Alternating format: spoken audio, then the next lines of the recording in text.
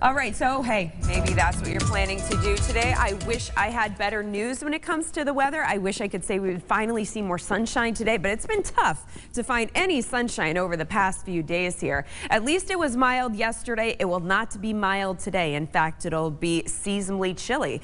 Let's start with our satellite and radar composite where you can see we had a little bit of a snow, rain, snow mix move across Tolland and Windham County. And now we have a few flakes that are flying across parts of Litchfield and Fairfield. Fairfield County. So as I zoom in, you can see around New Milford, Brookfield, Bethlehem, over towards Roxbury, we are seeing some snowflakes that stretches down through Danbury, Ridgefield, uh, right through parts of New Canaan, Stamford, and Greenwich. So, hey, if you're waking up in Greenwich, you probably see a few snowflakes out there. Probably not enough to really fully coat the ground, unless it just kind of stays in meanders there. But, you know, a nice sugar coating maybe.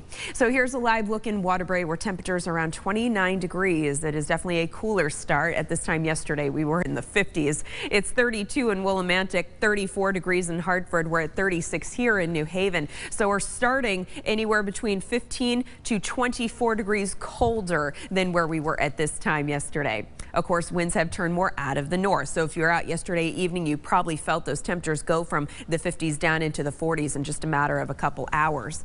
So winds out of the north ranging anywhere between 9 to about 17 miles per hour. It's still going to be breezy today. So temperatures are already going to be cool enough, only topping out in the 30s. You factor in the wind, it'll feel even colder.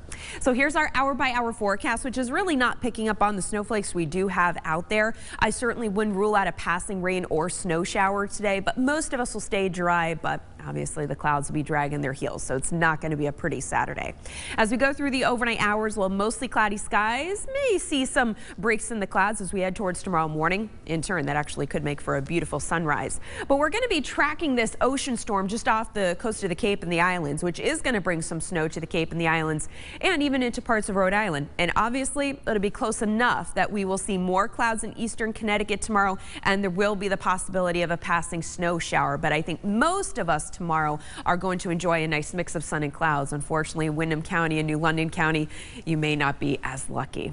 So today, rather cloudy, stray rain or snow shower possible with winds back out of the north, keeping temperatures in the mid to upper 30s. That'll likely put wind chill numbers in the upper 20s to low 30s.